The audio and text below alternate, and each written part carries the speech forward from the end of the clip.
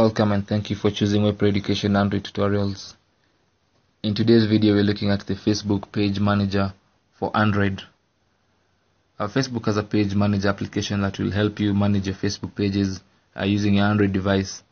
Uh, to install it you need to go to the Play Store and then go to the search bar and search for Facebook Page Manager. Search that uh, it should be the first result. And as you can see it's by Facebook. It's an application by Facebook. So that's what you want to uh, open and install. Just tap on install and allow the application to be downloaded and installed on your Android device. Once the application is done downloading it's going to get installed uh, on your device automatically